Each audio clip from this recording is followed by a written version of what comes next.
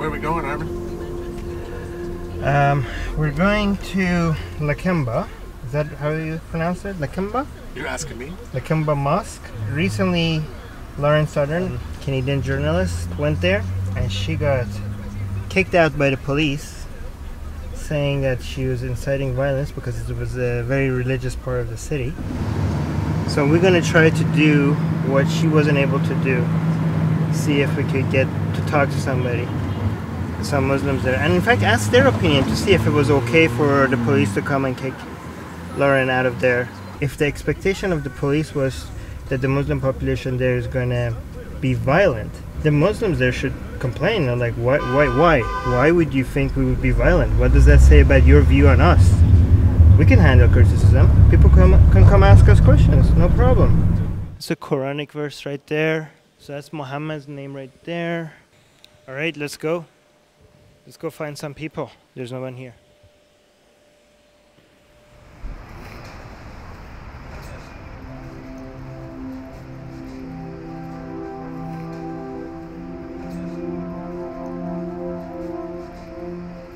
One hundred percent halal certified.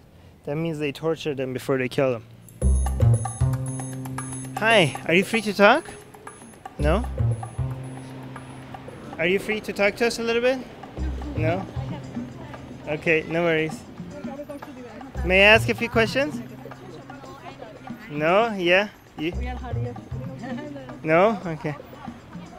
I feel like I'm profiling people based on how they look.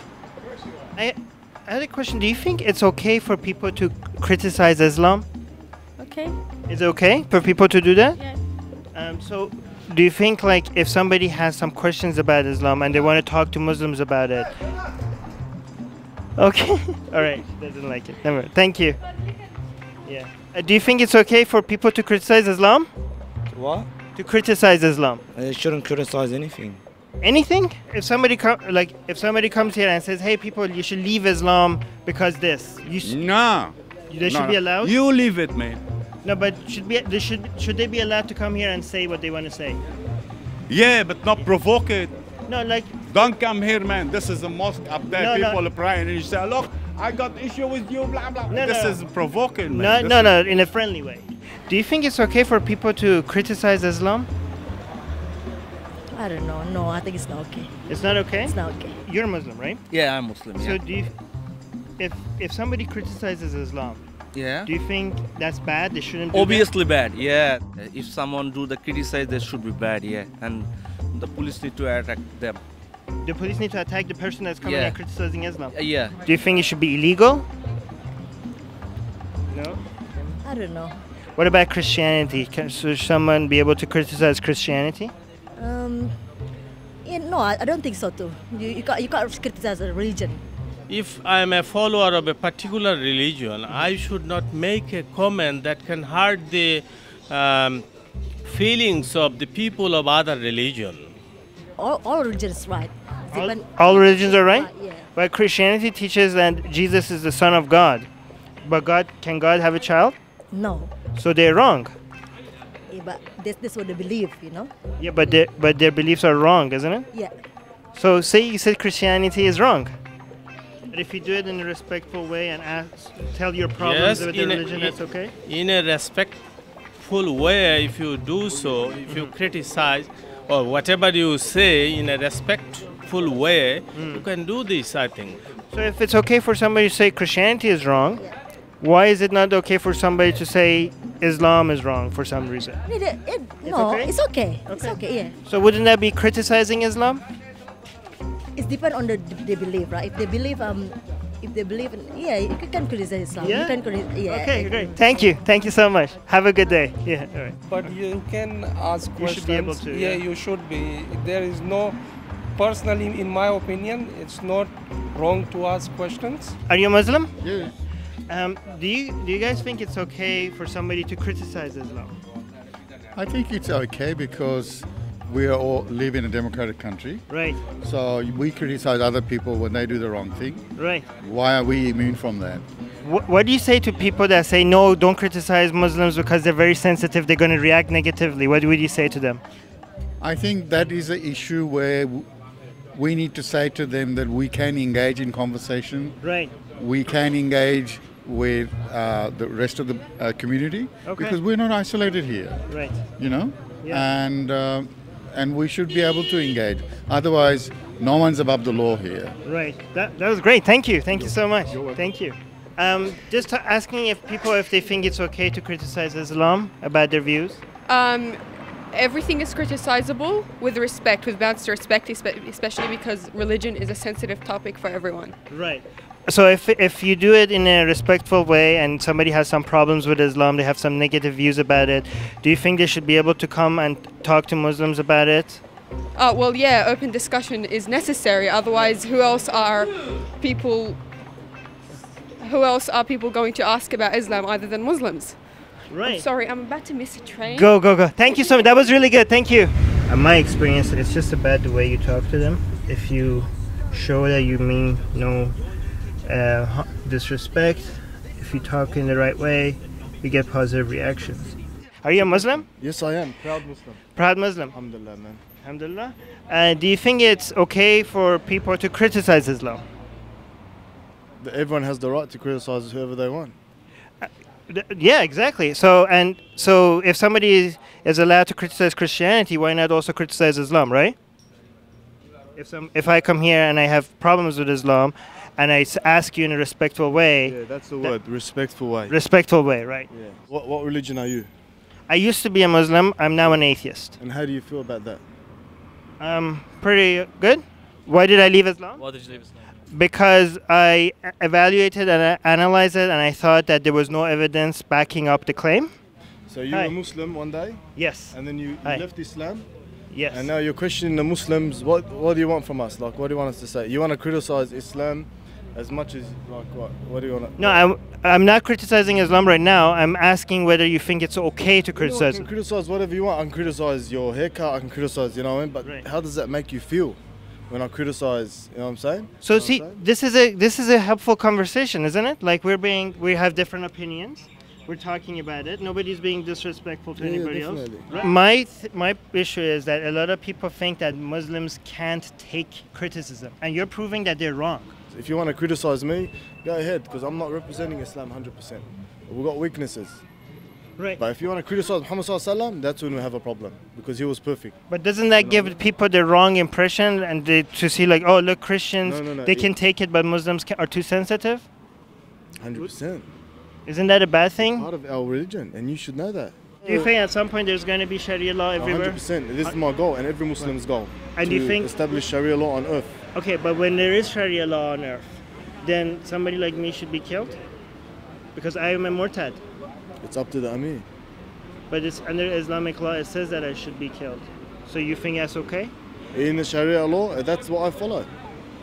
But do you think that's fair for me? Like, let's say you're right, I'm wrong. Mm. Do you think it's fair to kill me because I got the conclusions right, If, wrong? if Sharia law states that, then it should be fair for me. There's always a safe haven for you under Sharia law. No, Like, because you said Sharia law on everywhere on earth, so there's not going to be any safe haven for me. If it all earth, if, if Islam dominates all of all of earth, that's the plan, and you that's either the have plan. So where I would, where would be my safe haven? in Islam. but that would be by force then, wouldn't it? If No. if, if, if if my only safe haven is by Islam, and if I don't go back to Islam, punishment is death. So there's then two choices: Islam or death. I only want to say that doubt is okay. I doubt. No, you can't have doubt. Why not? No, no, no room in doubt for a Muslim. Really? Yeah, it's like But if your if your religion is true, then it should be able to. Um, it should be able to. Um, doubt shouldn't be a problem because you will come back to Islam. You know what I mean? It should be able to. The test of doubt, if you actually exa- re-examine it and question it, you will go back to Islam. So doubt it as much as you want. If if it's the logic behind your ideology is true, then there is no fear of doubt. It's two. Either you're a blind follower and have no doubt and say, yep, this is the truth 100%, or you, you got to research. I've, I've done my research and I'm, com- I'm my heart is content with, with what Islam has off- got to offer me. You're the most dangerous person. Why? Because you know Islam. I'm the most dangerous person? You are. because you know Islam.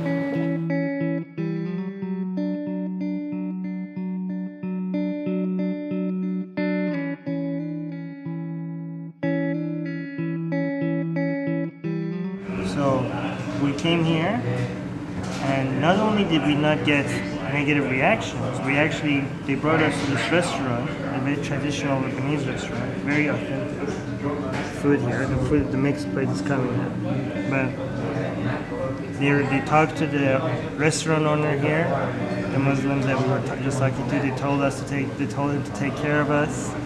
Um, so yeah, they're, they're treating us very nicely. So this is what you get for criticizing Islam. You get authentic Lebanese food.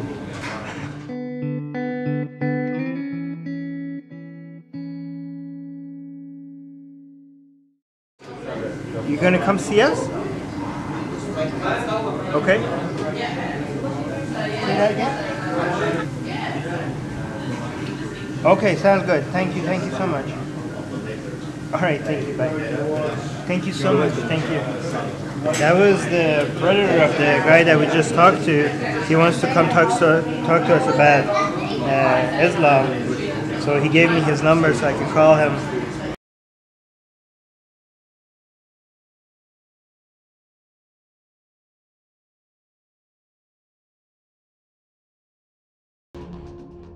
We came here uh, trying to talk to Muslims and criticize Islam, and we didn't know what to expect.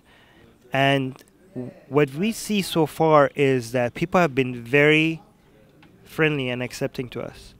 A lot of people tell us that we shouldn't be criticizing Islam because it hurts people's feelings. But what we have seen so far is that most of the people that we talk to here, they're willing to let other people criticize Islam and listen to what they have to say and respond to them. What What do you think? What do you think it's okay to criticize Islam? From the Muslim perspective, we believe that if a person criticizes Islam or comes to question or ask about Islam, we're actually happy that they come forward because the more questions they ask, the more we can clarify and the more we can answer for any misconceptions that, that they do have about Islam. What do you think about people who uh, mock Islam and then you say, well, that's this like to criticize Islam is one thing, but to mock Islam that's crossing the line. But the they they response is like, well, we're mocking Islam for the sake of freedom of speech because they're telling us that we shouldn't mock Islam and they try to make it the law not to mock Islam. I think that mocking anybody, whether it be a person of weight or size, whether it be of colored skin, whether it be of belief, is completely incorrect to mock them. I think to speak to them or have a dialogue with them is probably the best of ways. See, you know, the example some people give me when I say talking about Islam is like, look, if I if I mocked your mother, if I criticize your mother, uh, wouldn't you feel hurt? Well, what if your mom was a politician and she her ideas were influencing other people's lives? Would it be fair then to uh, criticize your mother? And what if your mom was passing a law saying that nobody should mock me and anybody that mocks me will go to jail? And if in that case we if we start mocking her for the sake of making sure that's not a law, that doesn't become a law, um, would that be okay? So when somebody comes and mocks any religion, and they say that my intention inside was a good thing, there's not one scenario in the entire globe where you mock somebody for the sake of goodness with good intentions. My problem is if you find it completely normal that people draw naked pictures of your mother and mock your mother and laugh at your mother, and you think that's a freedom of expression, just as a humble advice, you've lost your human morality, you've lost all senses of being a human. We're being told that this is the, the line that you do not cross. Mocking Muhammad or mocking Islam it should not is not covered under free speech. Even in Europe is now being laws are being changed. In Canada they're introducing the word Islamophobia into the law. Do you not think people that have lost human touch need some laws? So we can mock people if we think we're right in regards to that. Is that correct? Yes, you should be able to you should be able to do that. You should be allowed to do that. That's acceptable. respectable. It will become respectable in one scenario. What's the scenario? If I threaten you Does that No, let me answer your question. If I threaten you that if you mock me, I'm you're gonna see negative consequences. I'm gonna come and find you. Then I think you should you should mock me. You should mock me. You should get everybody you know to mock me. So you t- you can show me that if I threaten people not to mock me, it's gonna get worse. Everyone's gonna mock me. In that scenario, everybody. Sh- if I threaten people not to mock me, then everybody should mock me. You see my point? So the answer is: is it acceptable or unacceptable? In that scenario, it's acceptable and it's a duty. We, so it's okay. We walk up to people and we tell them, "Excuse me, sir, you look like a dog." Are you saying it's fine that people start doing this based on freedom of expression? It should be allowed to, for you to do that. Yes. That's most disgusting. No more comments, thank you. Okay. Most disgusting. All right. Well, thank you. So that was interesting.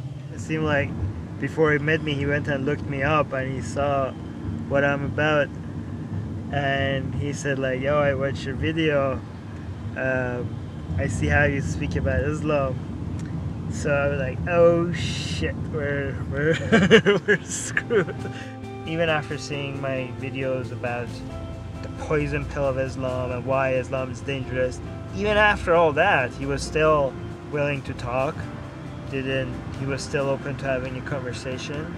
So even for somebody that goes as far as I have in attacking Islam, in talking about how dangerous of an ideology it is, someone like that was still willing to speak to me. He did say that I'm lost all I have no moral values because if I think it's okay to mock Islam and shame on me and all of that, which is fine. even if he thinks that, at the end of the day, he's still willing to have a conversation with me. There are still many people here willing to listen to you and have a conversation with you. And as you can see today, we, we even managed to change opinions. We went, a lot of people started by saying, you can't criticize Islam and within minutes of giving him a few examples, they said, okay, fine, you can criticize Islam. And that was only after a few minutes. These conversations are not pointless.